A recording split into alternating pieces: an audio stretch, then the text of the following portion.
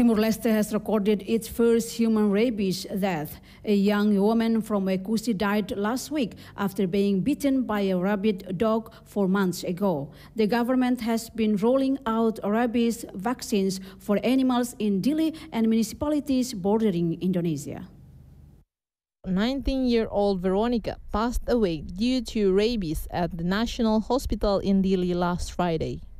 Her brother said she was bitten by a dog on December 26 last year, but didn't see a doctor right away.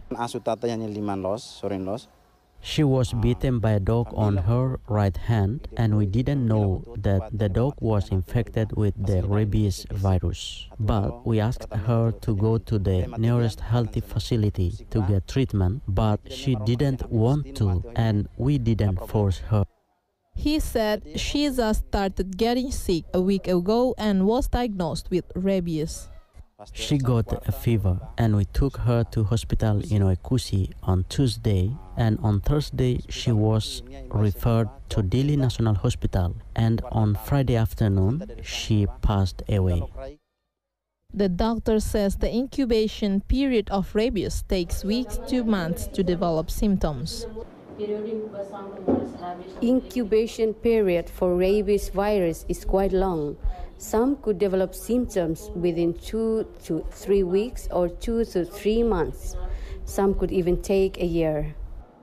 Health authorities have seen 15 people bitten by dogs in Oekusi this year, and most of those people have been vaccinated. Other patients who were bitten by dogs, apart from the one at the National Hospital, the vigilant team from national and regional have vaccinated them. If you are seeing a change of behavior in your dogs or your neighbor's dogs becoming aggressive and not normal, please avoid being bitten. If someone gets bitten by a dog, please take them to a nearby clinic. Health authorities suspect that the virus was contracted from neighboring Indonesian cities, where it is widespread and killed many people last year.